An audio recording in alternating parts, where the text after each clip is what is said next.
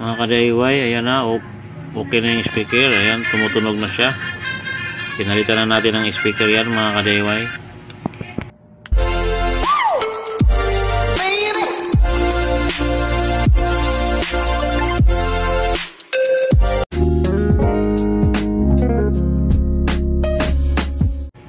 Welcome to my channel mga ka-DIY. Ayan, magputing-ting tayo ng isang China phone. Ayan, walang ano to, walang speaker, hindi tumutunog. Ayan, tahimik lang siya. Ayan oh. Wala, dapat ganyan. Pag ano, may ano na yan, may sounds na yan. Pero wala siya. Subukan natin sa ano, music. Ayan. O, wala, wala pa rin. Wala talaga siyang tunog. Buksan natin mga kadayway. Palitan natin ng speaker.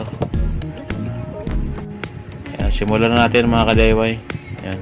Tanggal muna tayo ng tornilyo. Itabi lang natin yung tornilyo mga kadayway para hindi tayo magkulang mamaya pagbalik.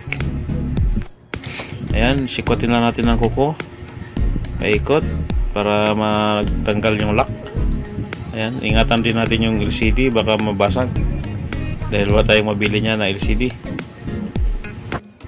Sikwat, sikwatin lang natin yan, yung board.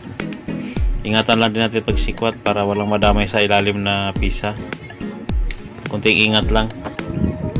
Ayan, angat natin. Ayan, medyo nakadikit yung ano.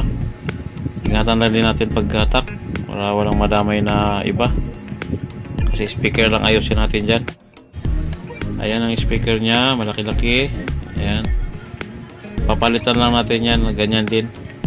Mga tinanggal lang din natin sa mga ganyang cellphone. Tester muna natin kung sira ba talaga. Ayan, wala. Sira talaga yan. Ayan, papalitan lang natin ng ano, speaker. Ayan, testeran din natin tong ipalit natin kung buo. Ayan, buo naman siya. Ito na ipalit natin. Ayan, tanggalin muna natin yung speaker na luma para mapalitan natin ng ano bago. Ayan, tanggal na. Ayan, hinang na natin yung speaker mga kadeway. Sunod lang natin sa ano, positive negative para balik siya dati. Yung may positive negative naman yan nakasulat. Ayan. Kaya ganun pa rin ilagay natin. Ayan, okay na. Nakabit na natin yung speaker. Ayan, asimbola natin mga ka-DIY. Ayan, ingatan lang yung ano, LCD na walang magkalso. Yung wire ng speaker baka magkalso sa LCD. Dahil pag press mo ng ano niyan, housing, basag. Ayan, check natin sa ilalim ng LCD kung walang nakakalso. Ayan, kailangan walang nakakalso dyan. Dahil yung LCD walang mabili niyan. Ayan, ingatan natin na libre siya, walang kalso. Ayan, malinis na. Wala nang ano yan. Wala nang sasabit. Ayan, ikabit na natin yung ibabaw na housing. Ayan, kabit na natin. Ayan na lang natin sa mga lock niya. Ayan, diin mo lang para mag-clip. Ayan.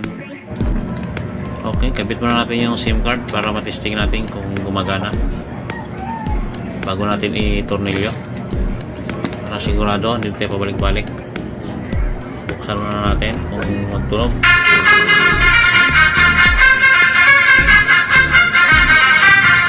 yun tumunog mga ka-DIY yan tornilyo na natin. Ayan mga ka-DIY okay na. Ayan speaker lang talaga ang sira. Ayan, pinalitan natin tumunog na siya. Ayan balik na natin yung mga tornilyo nya tsaka check na rin natin kung mahigpit subukan natin uli kung tumutunog. Baka nawala naman. Ayan oh, tumunog naman siya okay na mga ka-DIY please like and subscribe and click the notification bell para updated kayo sa susunod ko pang mga video. Salamat